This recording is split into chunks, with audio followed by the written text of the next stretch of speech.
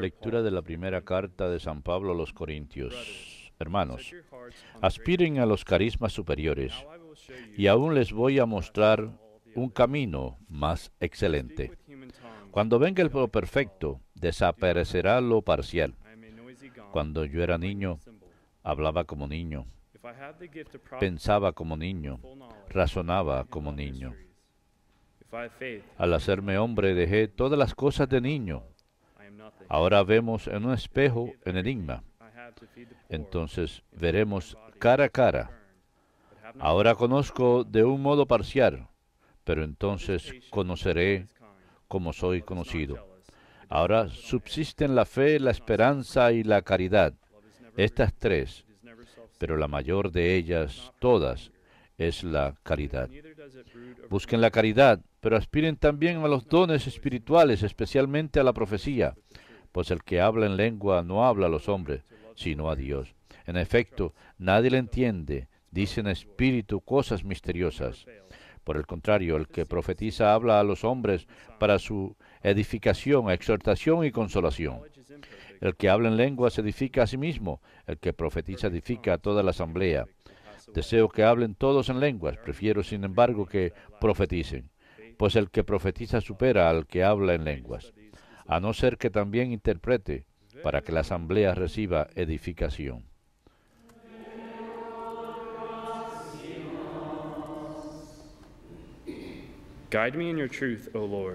Guíame en tu verdad, Señor. Guíame en tu verdad, Señor. A ti, Señor, levanto mi alma, oh Dios mío. En ti confío. No sea confundido. No triunfen de mí mis enemigos.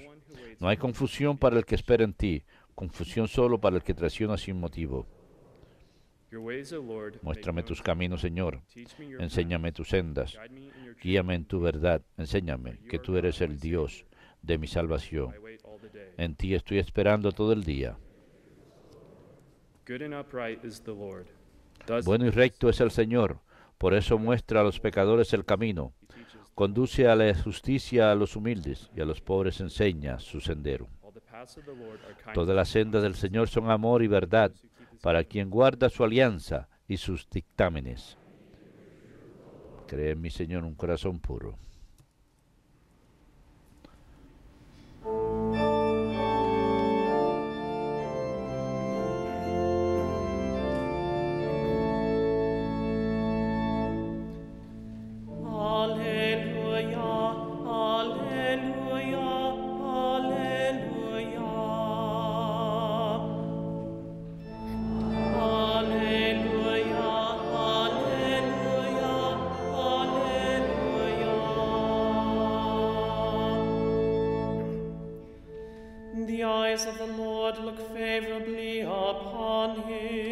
Los ojos del Señor le miran favorablemente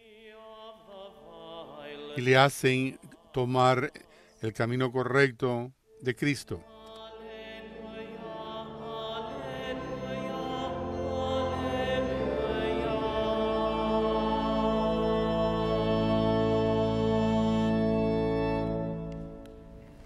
Dominus vobiscum. Et Lectio Sancti Evangelii secundum Matteum.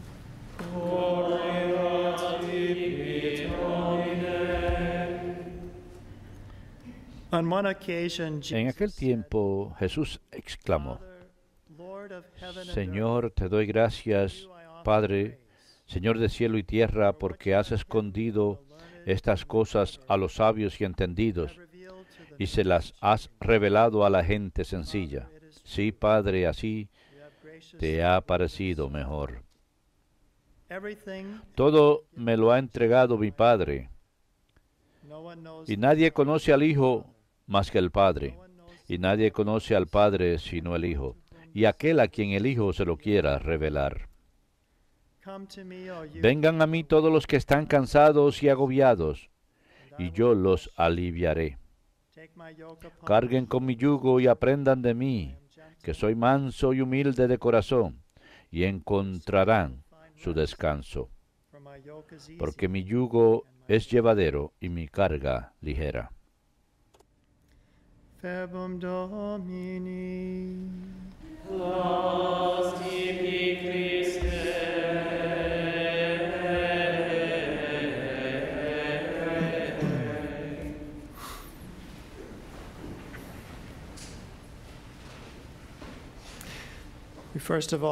Primeramente, los bienvenida al Padre Frank del grupo de Cleveland, Ohio, y otros visitantes que pudieran estar aquí para visitar a la EWTN y el Templo del Sagrado Sacramento. Espero que tengan un viaje muy bueno aquí.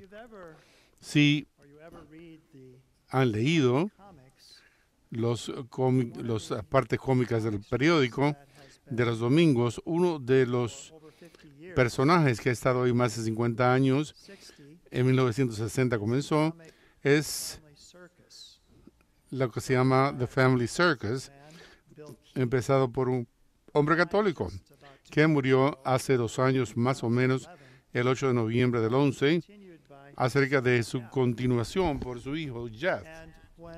Y Cuando Bill, que tan solo era un joven en sexto grado en St. Williams, en Filadelfia, dibujaba caricaturas y una de ellas que él dibujó fue la de su maestro, la hermana Anne. No lo hizo muy bonito y cuando ella vio esta caricatura, en lugar de enojarse con él, le estimuló, diciéndole que él quería, ella quería, mejor dicho, que comenzara en el periódico del colegio y que él sería el editor. Yo espero poder ver y leer tus cómicos, tus secciones cómicas en algún momento. Esto le estimuló y con el don que tenía, sin embargo, trajo sus valores y su familia y sus hijos a aquellos 1992. dibujos cómicos en 1992.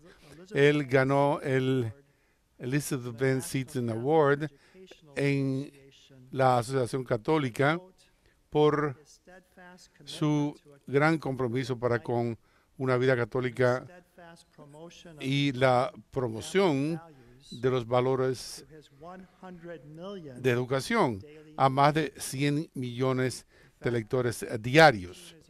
Es más, el cómico, el, el sector cómico está en más de 100 millones de periódicos y esto forma parte de la nueva evangelización, es decir, traer a la familia católica los valores al mundo. Sabemos el mal estado de la vida familiar y lo que tenemos que hacer todos nosotros es llevar estos hermosos valores de lo que es nuestra fe a la vida familiar, al matrimonio y traerlo a la sociedad. Había una señora en la Universidad de Wisconsin, ella es una graduada, Linda Berry, que recordaba haber crecido en su propia casa.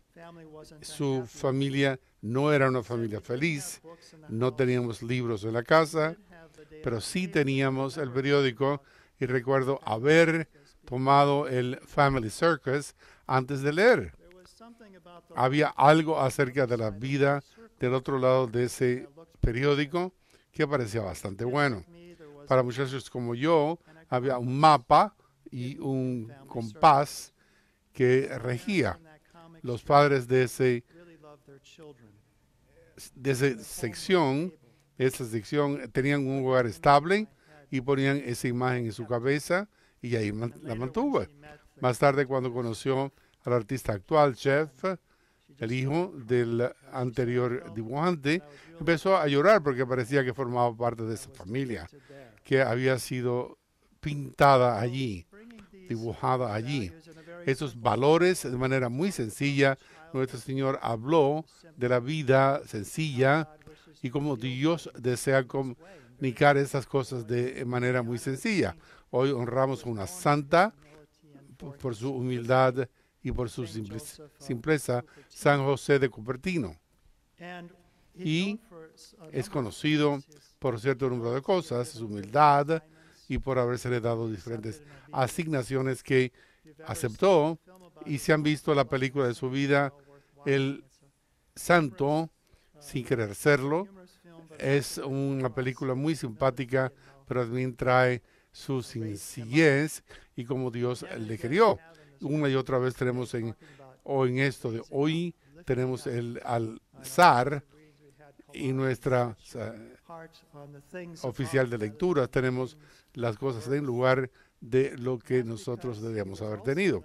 Y es porque también se le conocía por levitar, por estos um, momentos de que estaba por más de 200 santos les ha pasado y han levitado, es decir, se, levantaban por encima del suelo sin ningún tipo de ayuda.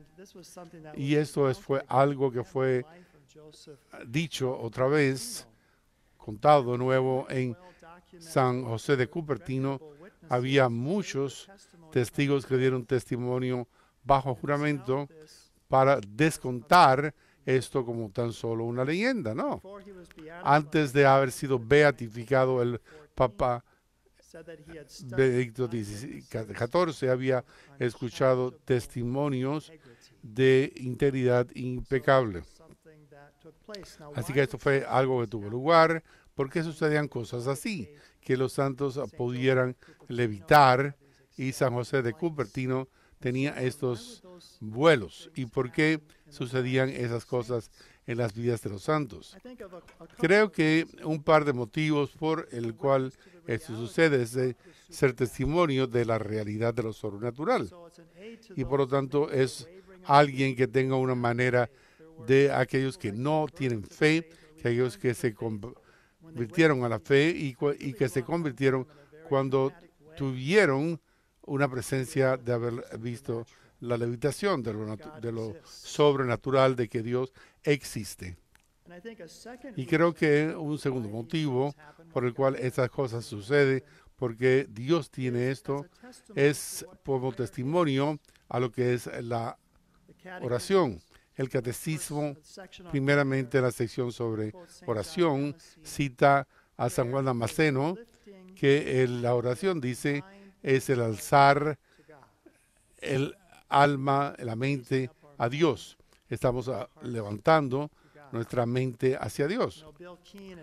Bill Keane en su cartón decía que tenía preguntas religiosas que hacían los niños y en una de esos cartones o dibujos, Dali decía, cuando oramos y decimos gracias por nuestra comida, es que miramos a la comida o al cielo. En realidad dejamos que nuestra mente sea alzada y eso es lo que es la oración. Hoy en el Salmo dice en el Salmo 25, a ti he alzado mi alma, oh Dios, y en tu confío. Así que San José de Cupertino estuvo tan atrapado en todo esto de Dios, en que lo amaba, que físicamente él también fue alzado. Escribió esto en su oficio de lecturas de hoy. Nadie, dijo él, los que quieran vivir una vida religiosa, jamás puede llegar a la perfección sin el amor de Dios. El que tiene el haber amado es rico, aunque quizás no sea consciente de su riqueza y que que no tiene, y no tiene amor es de hecho una persona desafortunada. Consideren las aves del aire que vienen a la tierra para comer, pero vuelven otra vez al aire. De igual similar, los sirvientes de Dios deben estar en la tierra tan solo tan pronto como sea necesario volver a subir para halagar a Dios. No hay dos. Fíjense que las aves hacen el actos evitando lo malo y los hombres no deben dejar que el Espíritu les castigue. San Agustín, cuando estaba hablando acerca de la ascensión de nuestro Señor al cielo, físicamente su cuerpo fue llevado al cielo, no podemos llegar allí físicamente, pero sí podemos ir mediante el amor al cielo. No podemos ir por medio del amor ya para estar unidos con Dios en el cielo. San Pablo y sus palabras en la primera lectura del día de hoy concluye con esa. El amor son las cosas que perduran. Que eso de la eternidad del cielo en que estamos unidos a Dios, la fe y la esperanza pasarán. Y ahora poseeremos lo que hemos buscado, que el amor es algo que dura y que comienza en esta vida en la tierra, el amar a Dios. Por lo tanto, el mensaje de San José Cupertino para nosotros es frecuentemente a lo largo del día alzar nuestra mente y nuestro corazón a Dios para llegar allí con Dios. Las primeras oraciones del catecismo en el párrafo 1 dice así, Dios infinitamente perfecto y bendecido en sí mismo, en un plan de total bondad, libremente creó al Señor, mejor dicho, al hombre, para hacerle compartir en su propia vida. Por este motivo, en todo momento y en todo lugar, Dios se acerca al hombre y llama al hombre para buscarle, conocerle con toda su fuerza. Y esta es una hermosa palabra para nosotros meditar sobre ella. Es un plan de verdadera bondad que tiene Dios para con nosotros, que Él nos crió para compartir nuestra propia vida, que Él continúa acercándose a nosotros y cada vez es el buscarle en nuestra vida y elevarse a lo largo de esta parte de la colaboración. Por lo tanto, en esta misa de esta mañana venimos a acercarnos al Señor que se acerca a nosotros, para estar unidos con ese amor y con esa forma física en la comunión, cuando Él comunica su amor y su presencia en nosotros y hemos, estamos unidos a Él en una pequeña sabor, un pequeño sabor de lo que vendrá. Por último, concluyo palabras de C.S. Lewis que habla acerca del hecho de que cuando hablamos o nos relacionamos con otros, no estamos hablando de personas que son tan solo mortales, que sean tan solamente alguien destinado para esta vida y para pasar y nada más. No, hay, no hay gente ordinaria. Nunca ha hablado uno a un mero mortal las naciones, las culturas, las artes, las civilizaciones, estos son mortales.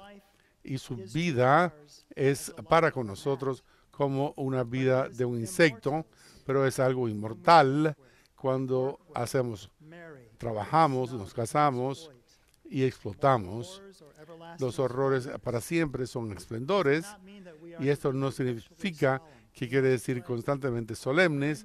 Debemos jugar pero ese, de juego, ese juego debe ser así. Y existe entre el pueblo que tiene desde el comienzo el haberse tomado seriamente los unos a los otros, sin, sin, superioridad, sin presunción. Cada uno de nosotros está destinado a la inmortalidad para estar con Dios para siempre. Así que con José Cupertino, alcemos la mente y el corazón a Dios y vayamos ahí mediante el amor.